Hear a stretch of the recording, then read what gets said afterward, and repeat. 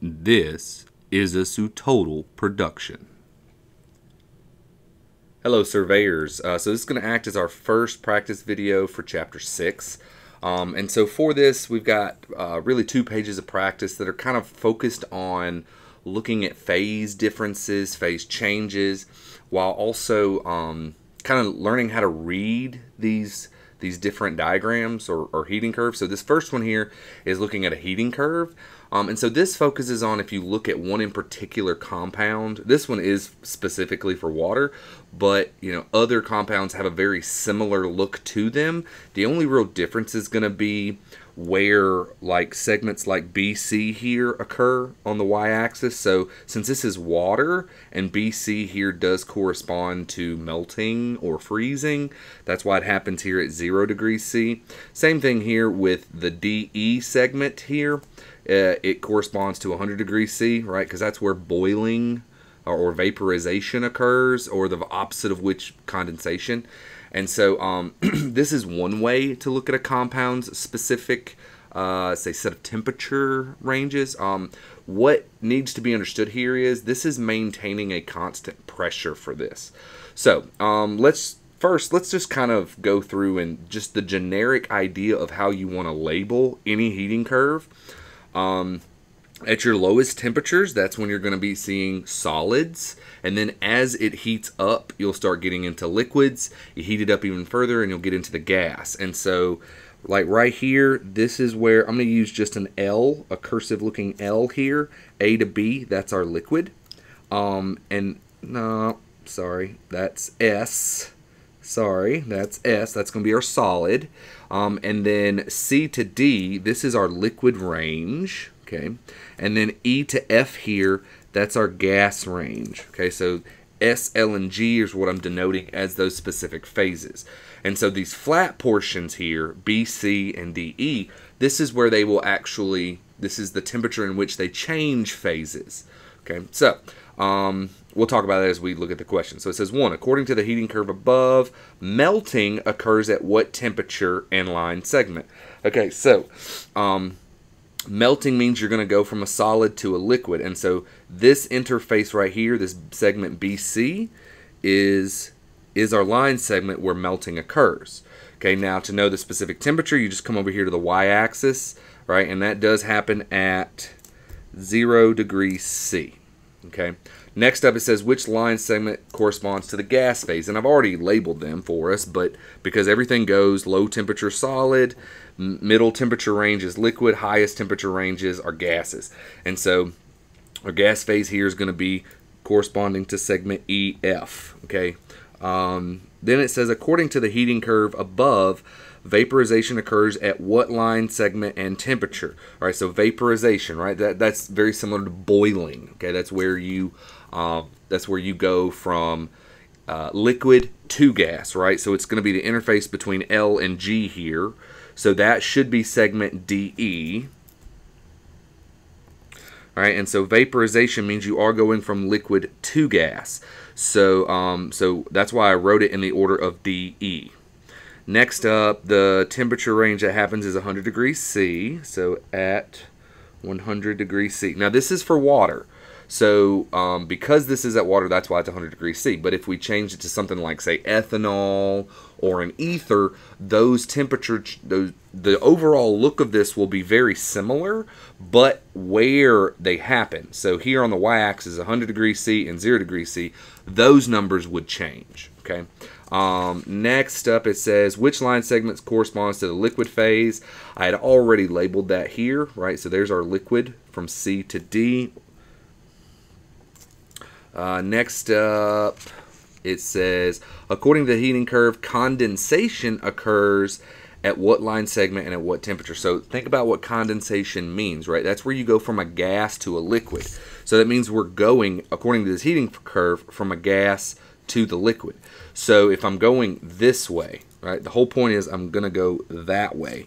So when I give the line segment, I'm not going to put the line segment DE I'm going to use ED. So line segment ED. And of course, condensation also happens at 100 degrees C, like vaporization does. So there you go. right? It's just one is the reverse direction, right? That's all it is. It's directionality. Next up, it says which line segment corresponds to the solid phase. All right, I already labeled that up here. That's our AB. So there you go. All right, and this is kind of the uh, meat and potatoes, I would say the most important aspects of uh, understanding the labeling associated with a heating curve, all right, and the different phases and the processes that occur to get to the different phases, all right. Um, uh, there was so we we went over melting, vaporization, and condensation. Now the opposite of melting is freezing. So if it asks for the freezing temperature, that would still be the same at melting, right? The only difference with freezing is you're going from liquid to solid. So the segment for that wouldn't be BC, it would be the opposite direction. It would be CB. And it would happen at the same temperature, 100 degrees C. It's just you're going in the opposite direction. All right, next up, um, the other diagram we wanted to look at real quick is a phase diagram. All right. Now, this one is a little different. Instead of looking at temperature and energy, it's looking at temperature and pressure. Okay, now, the way phase diagrams, they have a, a certain commonality to them as well.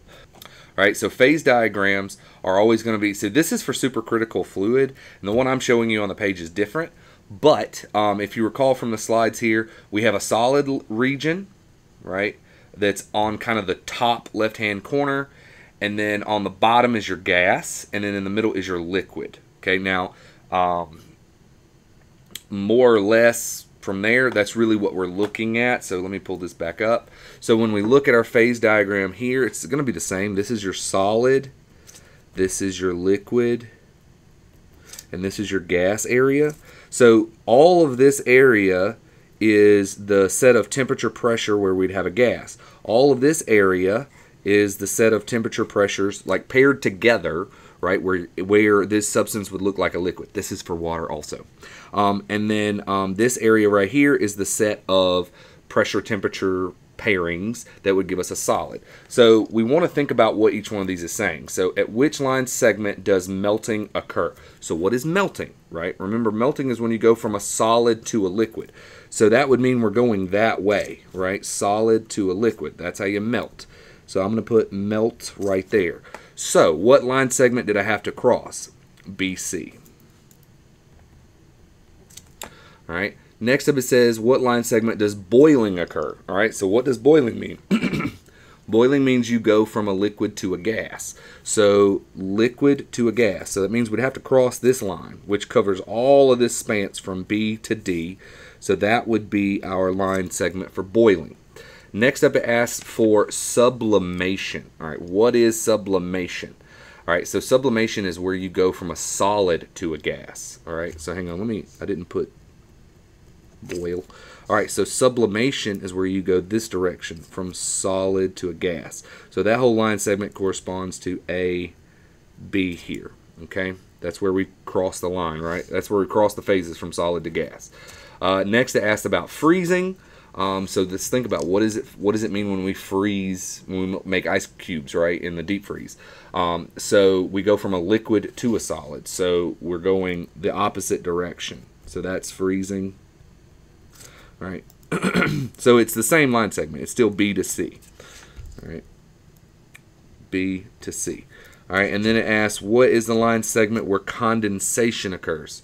All right, so condensation, what is that? That's going from a gas to a liquid. So gas going this way to a liquid, it's the same as our boiling line. So uh, let me put cond, so that's condensation for short. All right, so that would still be B and D as well. Right, and then at which line segment does deposition occur? Deposition is where you go from a gas to a solid. So this, oh, sorry, you didn't see what I did. So this right here is our deposition arrow, right, going from a gas to a solid.